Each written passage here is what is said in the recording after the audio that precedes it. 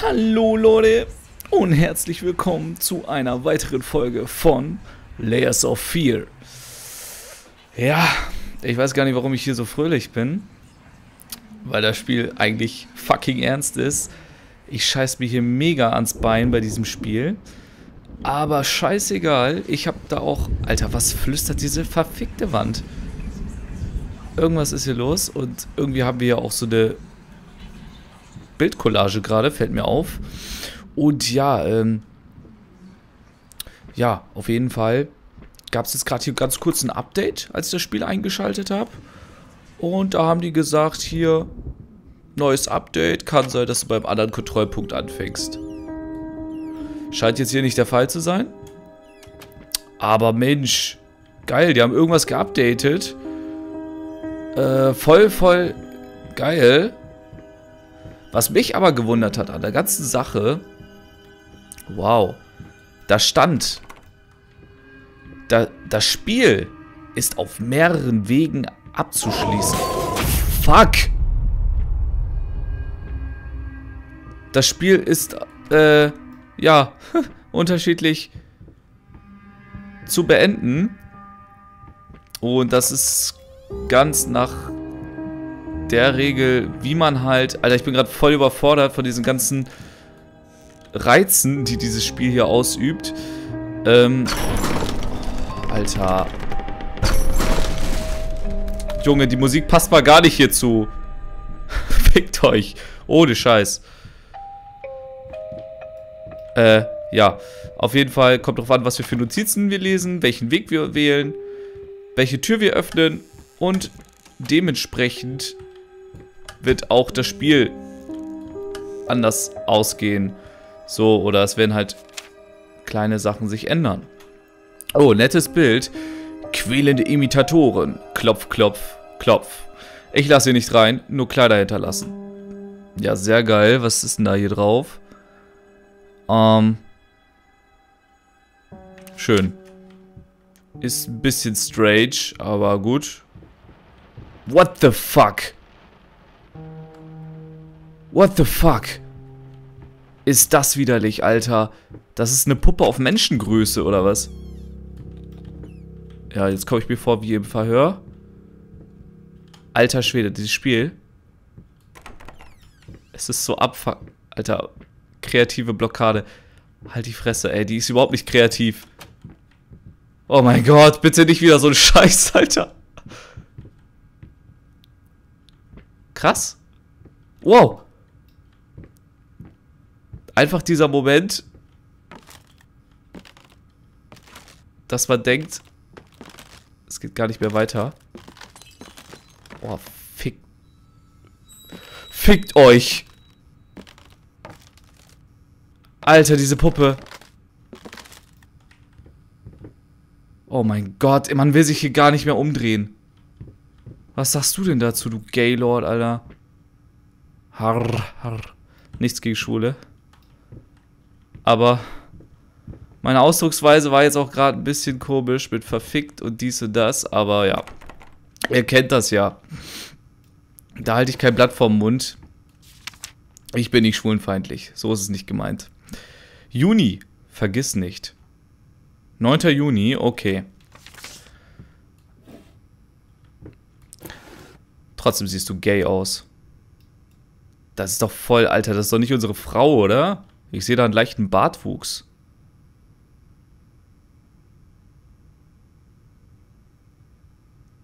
Und wir fangen wieder an zu wippen. Eigentlich durchgehend. Ach Mensch, nimm doch mal die Sonnenbrille mit. Oder die Lampe, die surrt hier so extrem. Oh, scheiße. Hallo. Einfach mal die Lampe ausgemacht, Alter. Ich hab mega Schiss. Oh, oh, oh. Ja, und auf jeden Fall habe ich mal äh, mich ein bisschen schlau gelesen wegen diesen scheiß Steamer-Folgen. Ich hab. Oh Mann!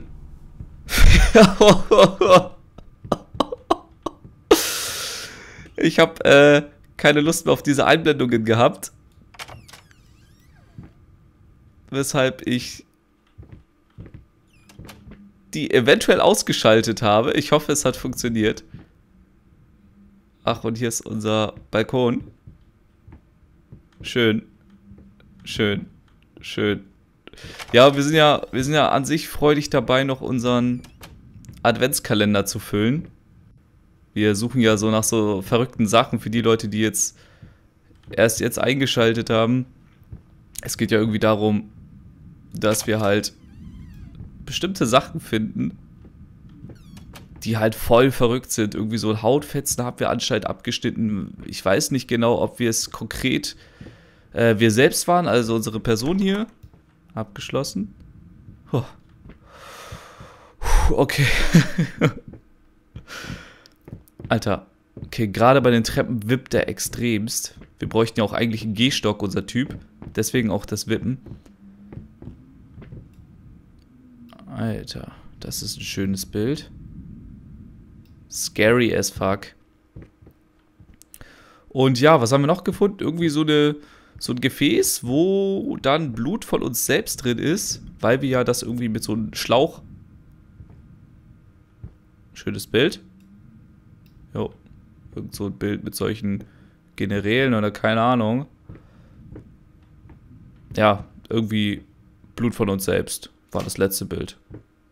Äh, was für ein Bild? Ähm, Gegenstand, genau. Und wir brauchen in, insgesamt, glaube ich, sechs. Und das ist hier dann so war die Leiter davor hier schon auch? Wir können tatsächlich die Leiter hoch. Und ich habe da links ein Zettelchen gesehen. Alter, bitte. Oh, ist das eklig, wenn jetzt rechts irgendwas gewesen wäre. So, kommen wir da jetzt an. Ja, und ich denke mal, das ist so die Hauptaufgabe hier. Na, was haben wir denn hier? Ein Schlüssel. Ach so. Ja, das hätten wir so oder so machen müssen. Äh. Ja, gut. Oh, ist das nebelig hier. Mann, Mann, Mann. Peter. Sei ruhig.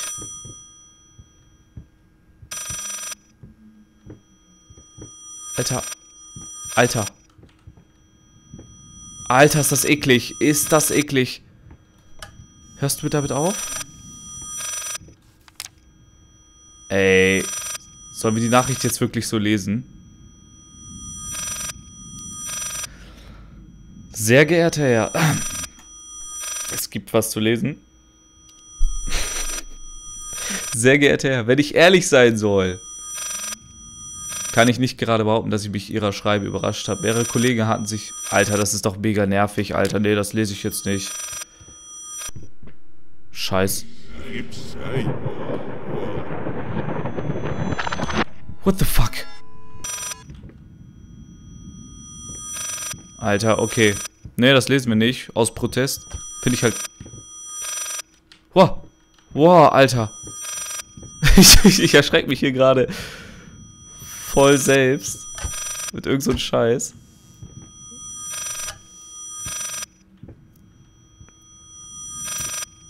Ey, sei ruhig.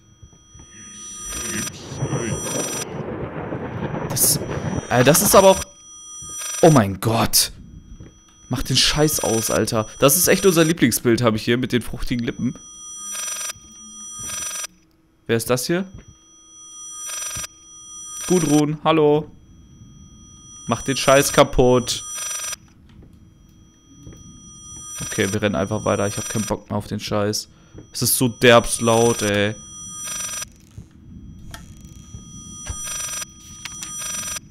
Warte mal, hier waren wir doch schon. Mach dieses verdammte Telefon aus.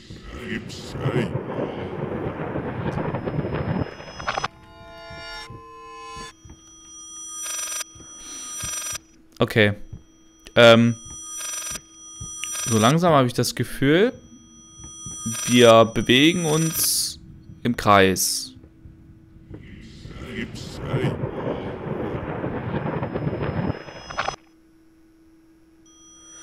Ich denke, wir sollten einfach mal rückwärts laufen. Das ist vielleicht ganz nett. Aha. Irgendwas war jetzt anders. Sei doch mal ruhig jetzt.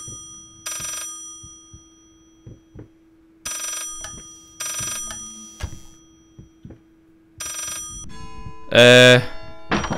Oh, Junge. Es reicht mit deinem scheiß Telefon. Was? Yes, Speaker? Was sagt er da eigentlich die ganze Zeit? Was sind das hier für Verängstigte und Herr... Sieht aus wie Herr Hirsch von Rusty Lake Hotel. Schön. Äh. War's das jetzt endlich mal? Die Stelle hat mich echt angekotzt. So, jetzt können wir mal in Ruhe lesen. Pass auf, wir machen das jetzt. Sehr geehrter Herr, wenn ich ehrlich sein soll, kann ich nicht gerade behaupten, dass mich Ihr Schreiben überrascht hat. Mehrere Kollegen hatten mich bereits darüber informiert, dass sie zuvor deren Meinung in dieser Angelegenheit hören wollten und während es vollkommen nachvollziehbar ist, dass Patienten eine zweite Meinung einholen, möchte ich doch meinen, dass 16 übereinkommende Meinungen ausreichend wären. Dennoch bin ich aus Respekt Ihrer Frau und Ihnen gegenüber den Fall noch einmal sorgsam durchgegangen und leider stimme ich mit meinen Kollegen überein. Unwillkürliche Muskelspasmen sind bei Patienten, die so starke Verbrennungen erlitten haben wie ihre Frau, nicht unüblich. Was sie als abartiges Grinsen, nämlich der Joker, oder enervierendes, ener, enervierendes Kläffen beschrieben haben, wobei viele diese Ausdrücke verletzend fänden, könnte in der Tat eine Manifestation eines Nervenschadens darstellen. Die anderen Symptome, die Sie erwähnten, scheinen keinen psychologischen Ursprung zu haben, sondern erscheinen eher psychologischer Natur. Traumatische Ereignisse können zu schweren Stresssymptomen führen, was nichts ist, wofür man sich schämen sollte. Okay, bezüglich Ihrer Aufforderung an uns, Ihre Frau wieder hinzukriegen, müssen Sie begreifen, dass Sie dass die Dinge, die sie durchgemacht hat, nicht einfach durch einen simplen medizinischen Eingriff rückgängig gemacht werden können. Es ist ein langer, beschwerlicher Prozess, der all ihre Stärke und Unterstützung erfordert. Sollten Sie den Wunsch haben, einen Langzeitrehabilitationsplan mit mir zu besprechen, dürfen Sie gerne meine Kollegen oder mich kontaktieren. Hochachtungsvoll Dr. Madison Robert Richards. Noch so ein verdammter Quacksalber. Glaube ich auch. Ja, zu Risiken und Nebenwirkungen fragen Sie Ihren Arzt oder Apotheker. Schön. Hat uns weitergebracht. Also irgendwie hat unsere Frau... Die ist ein bisschen komisch, habe ich das Gefühl. Okay, restless. Okay. Nicht ruhende Erinnerungen steht da. Für die Leute, die keinen Bock auf Englisch haben. Ruhelose Andenken. Okay, so kann man es auch übersetzen, natürlich. Oh! Fuck! Fuck! Fuck! Fuck! Fuck! Ist das euer Ernst? Ist das euer Ernst, Alter?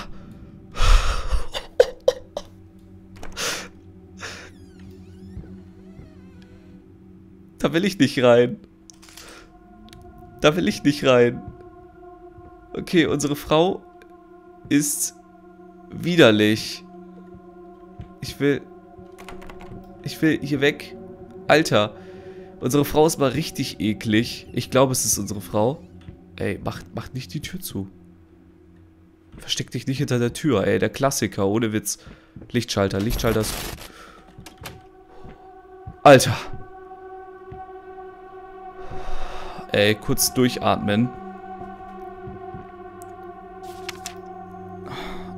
Alter, das war da so pervers gemacht, Alter. Flatternde Schrecken, seid still. Konstantes Flattern fressen andere Ratten.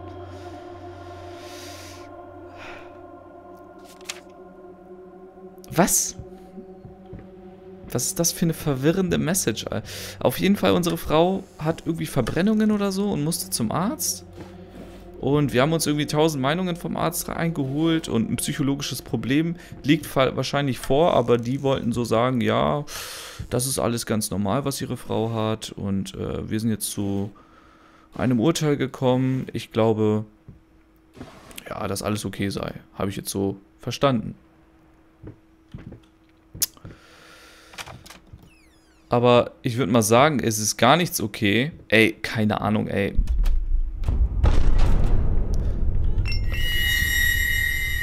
Junge. Hau ab. Hau ab.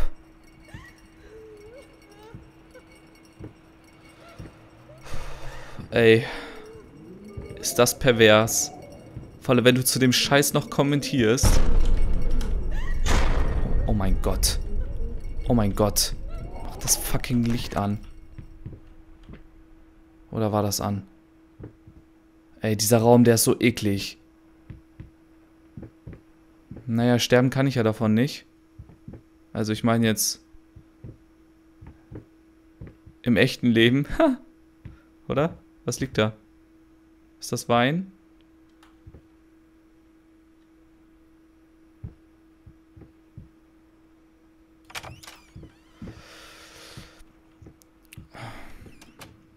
Hoffnung ist der Hoffnung tötet den Geist, alles klar. Okay, jetzt ist abgeschlossen. Ja, und wir gehen wieder in den schönen Fahrstuhl rein. Begeben uns zum nächsten Abenteuer. oh Mann, ich habe so keinen Bock gerade. Irgendwie schon, aber das ist so, weißt du, mit gespaltener Meinung geht man an, diesen, an diese Sache heran. Na. So, jetzt funktioniert es doch. Einfach weil Oh, erstmal die Decke checken. Nicht, dass da irgendwas klebt. Unsere Frau oder so. Wie so eine Fledermaus. Ach Mensch, das ging ja schnell. Ja, man möchte irgendwie weiterspielen, aber man möchte irgendwie es auch sein lassen. So, wir haben wieder was zum Lesen. Das beruhigt uns erstmal. Jedenfalls rate ich dir als deinen Anwalt dazu, von jeglichen unüberlegten Handlungen abzusehen. In anderen Worten, mach nichts Dummes. Wir haben immer noch eine Chance zu gewinnen. Glaub mir, äh, glaub es mir oder nicht, ich habe schon Klienten aus tieferer Scheiße gezogen als dieser ihr. Mach es nur bloß nicht noch schlimmer. Tauch eine Weile unter und lass mich gegen den Gerichtsbeschluss vorgehen. Dieser Sozialarbeiter hat es definitiv auf dich abgesehen. Wir können es zu unserem Vorteil nutzen, dich als Opfer des Systems darzustellen. Ein trauernder Ehemann, ein kurzzeitiger Verlust der Zurechnungsfähigkeit, ein übergreif übereifriger Bürokrat. Vertrau mir, das ist unsere beste Option.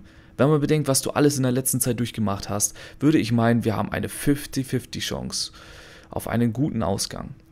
Aber nicht, wenn du weiterhin versuchst, alle davon zu überzeugen, dass du total übergeschnappt bist.